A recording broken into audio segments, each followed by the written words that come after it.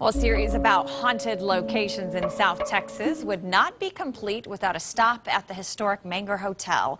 The hotel was built near the Alamo, and not many guests or employees leave without experiencing something. Erica Hernandez tells us about some of the hair-raising stories. San Antonio has that reputation of being haunted all over.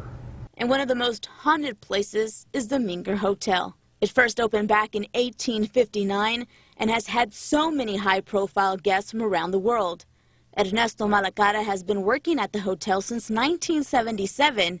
He has seen and heard it all. These are things that have happened in the hotel, some of which are hard to explain, but nonetheless they are true and they have happened. Many different spirits are alleged to haunt the hotel, and Ernesto has also had his own encounters with some of them. I'm watch, looking at this photograph in the corridor and just, and all of a sudden the lighting gets dimmer, and then I feel that somebody's standing behind me and is literally trying to bore holes in my head.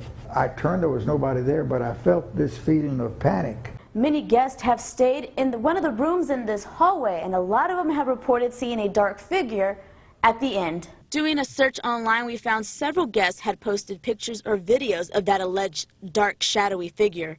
And Felicia Powell sent us this photo. In the front, a child in red, but the dark figure behind the kid, she has no idea who or what that is. Despite us not experiencing anything the night we were there, many others have a ghost story to tell from the Menger Hotel. Erica Hernandez, KSAT 12 News.